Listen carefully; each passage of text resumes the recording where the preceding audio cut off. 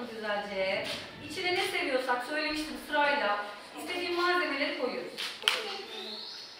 İstersen masanın üzerine yapabilirsin Esra'cığım. Dökülmesin tatlım. Daha Macaristan'dan geldi.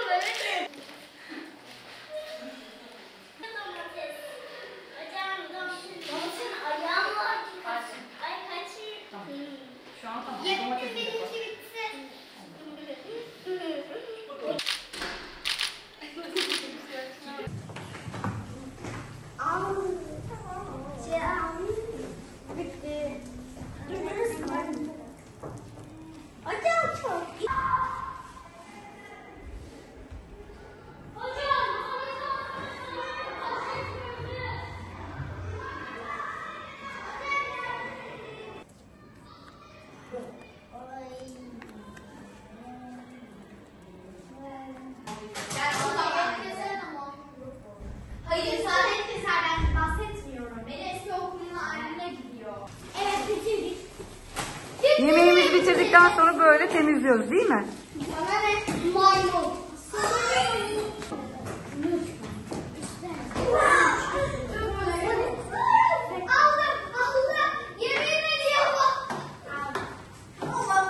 Samanayı çakmayı öğrendik.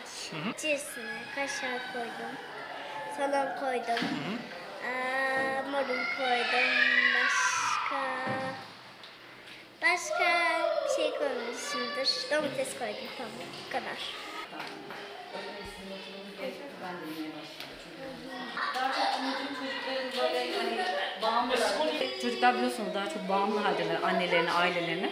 Biz burada daha çok hani çocukların öz bakım becerileri yönünden gelişimlerini sağlıyoruz. Neler var bunların içerisinde? Bunların içinde kıyafet ütüleme oldu, katlama oldu, çamaşır asma oldu. Hatta nevresim geçirme bile öğrendik çocuklarla birlikte. Çocukları dediğim gibi bağımlı halden aslında bağımsız öz bakım becerilerini kendilerini yapar hale getirmeye çalıştık. Çünkü anne babalar genelde artık çalışıyor biliyorsunuz.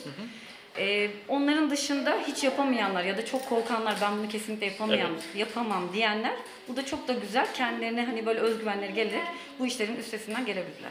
Şu anda birinci ve dördüncü sınıf arası eğitim veriyoruz.